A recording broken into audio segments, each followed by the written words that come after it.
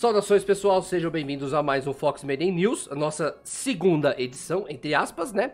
E hoje nós vamos falar de alguns algumas mudanças nos jogos e outros que lançam essa semana, assim que nem também vamos lançar os vídeos, tá? Então o primeiro, o primeiro jogo que lançou essa semana é o Ori and the Will of the Wisps.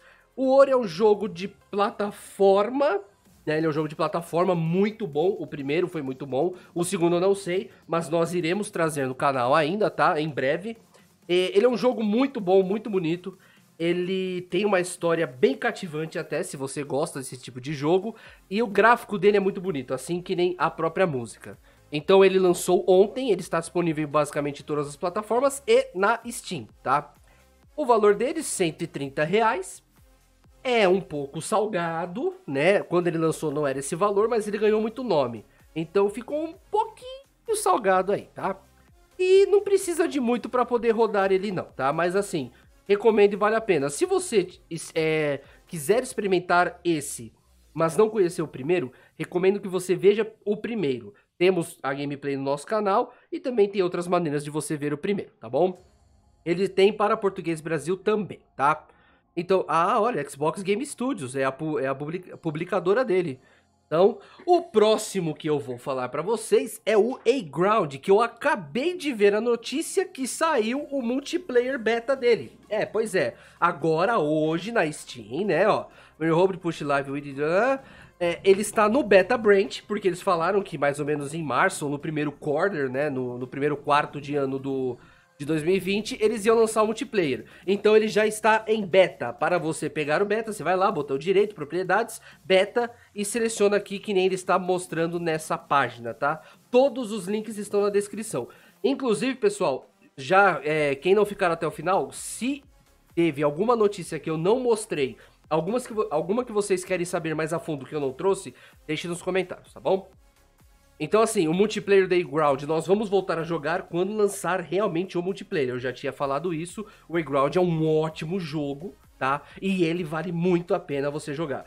Tanto que ele também tem gratuitamente na Congregate, tá? Não se esqueçam. E naquele ponto lá que eu esqueci o nome, tá? A próxima notícia é que Comanche, o Comanche lançou hoje. Na verdade, estou gravando esse vídeo às 3 e às 3h31. Ele acabou de lançar, basicamente, tá? O Comanche, ele é um simulador de combate aéreo do helicóptero RAH-66. Não, não estou lendo aqui. Eu joguei muito Comanche 3 na minha infância, junto com meu pai. Então, assim, eu amo esse jogo. Porém, ele vai ser... Ele será voltado ao PVP. Então, ele é mais ou menos batalhas 4x4...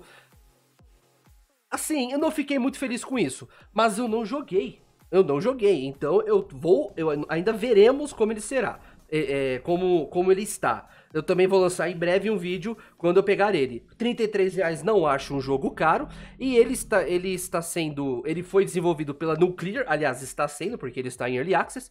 É, ele foi está sendo desenvolvido pela Nuclear, que eu sinceramente nunca ouvi falar, e pela e publicado pela THQ Nordic. Lembrando que a, TH, a ou seja, ela nunca fez um jogo.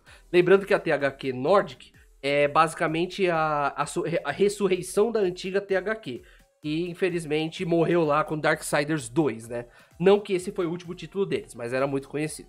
E o Comanche ele é bom para quem gosta de, desse, dessa simulação de combate aéreo, né? Então, assim, quem joga, por exemplo, os World of alguma coisa, ou é, esqueci o nome do outro lá, que é quase que nem World of Warships, World of Warplanes, vai gostar do Comanche. Apesar que eu não sei como está. Eu vou jogar, vou trazer no canal e aí a gente fala, tá bom? Uma das notícias mais importantes que eu vou deixar por último, que eu vou falar é, depois, mas a, amanhã parece. Amanhã não, parece não. É, amanhã sai Borderlands 3. O jogo que eu me recusei a jogar porque não tinha sido lançado. Então, o Borderlands 3 foi será lançado amanhã. Ah, mas sem Epic Games. Foi lançado amanhã, mas a Epic... Não, filhão, Epic Games para mim ficou antigamente lá, ó. Lá no Real Tournament. Lá no Real. Mas enfim, isso aí já é opinião diferente. Publicadora do 2K, que é boa, e a Gearbox Software, que é a desenvolvedora. A Gearbox é muito boa, tá? No, na Steam, aliás, ela já está vindo com desconto. Eu acho que é um jogo que vale muito a pena, tanto que eu sempre falei que o Borderlands 2 é um dos jogos. É, é basicamente o único jogo que eu Não tenho que reclamar. Ele, ele é ótimo, ele é perfeito em tudo. O gráfico é muito bom, dublagem, a história, uh, o loot, a jogabilidade, o replayability dele, é, tudo, tudo, tudo, tudo, tudo. O Borderlands 2 é um dos melhores jogos que existe, em minha opinião, claro. E eu não sei como que é o 3. Eu não sei. Nós vamos trazer no canal? Não sei. Provavelmente sim, mas eu não sei, porque ele é muito grande, então é complicado. Ele tem em português Brasil, não tem o áudio em português, o que é meio chato, mas tudo bem. E um dos, uma das piores coisas que eu, que eu acho, aí é a minha opinião, obviamente, é já vem uma porrada de DLC, né? Mas tudo bem, tudo bem. Ele lançou há seis meses, um ano atrás na Epic Games, então tudo bem. Acho que vale a pena tá? Mas quem ainda também, por incrível que pareça, não conheceu Borderlands 3, experimente o 2. Só que ele é, o 2 ele é muito bom. Só tem uma pegada, o 2 não tem português BR. Então, para você entender a, é, a, as coisas cômicas do jogo, as coisas engraçadas... Ó, oh, parece o Marcos Mion, cara. É, as coisas engraçadas, é, pode ser um pouco complicado tá? Mas recomendo dar uma, uma, uma olhada aí no jogo. Ele realmente é bem legal, o 2 foi bem legal. As histórias, o per eu não gostei muito, mas o 3 deve ser realmente muito bom, tá bom? E a notícia melhor de todas, que eu estou louco para poder jogar, é o State of Decay 2 Juggernaut Edition. Nós já trouxemos ele em lives pelo Xbox Game Pass, tá? Que aliás é muito bom, eu recomendo. E amanhã ele lança o Juggernaut Edition. Qual é a melhor coisa de todas? Steam, ótimo. Ele vai vir para Steam, só que ele te, também terá, ele teve, na verdade, alguns reworks, né? Então, por exemplo, uh, aqui, aqui, deixa eu ver, uh, uh, News, vamos ver. Eu acho que é por aqui, mas enfim.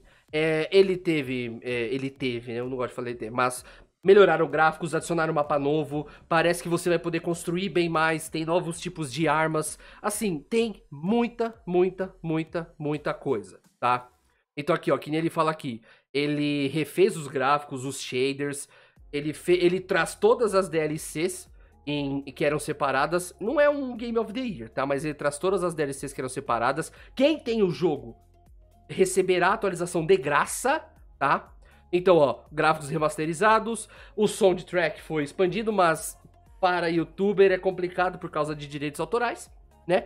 É, é um novo mapa, é, do mesmo tamanho dos outros, só que parece que não tem um lugar aqui que você pode realmente fazer tudo, porque antes ele te limitava.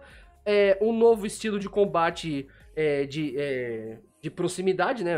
É, chamado de melee, que é quando é o combate perto, né? O ranged é o combate, combate a longa distância, né? E uma experiência nova introdutória no, do, tu, no tutorial. Tá, beleza. Mas, assim, ele vem pra Steam. Eu gostei bastante desse jogo. Não sei se nós vamos jogar em, em, em co-op ou não. Eu sei que eu vou começar um novo jogo. Eu acho que eu perdi meu save lá do Xbox Game Pass. Não tem problema. Eu gostei muito do State of Decay 2, tá? E sinceramente, pelo que eu já joguei, ele não está caro. Então podem comprar que vale a pena. 80 reais para esse jogo vale muito a pena. Ele é um ótimo sobrevivência e a replayability dele, que é a, a vontade que você tem de re, rejogar ele, né, de replay, é muito alta, em minha sincera opinião, tá? Então, esses foram os lançamentos, basicamente das semanas que eu achei rele relevante. Novamente, se vocês têm alguma ideia, sugestão, crítica, se vocês acham que eu deixei passar alguma notícia ou querem ver nós comentar, é, é, nos ver comentando alguma notícia, alguma ideia dos do jogos que vocês querem saber, é só deixar nos comentários, tá? Então, pessoal, muito obrigado a todos por terem assistido. Dúvidas, críticas, sugestões, curtiram, compartilhar, inscrição no canal com a cargo de vocês. Deixem nos comentários que vocês saibam o que vocês acham e vejo vocês no próximo vídeo. Até a próxima.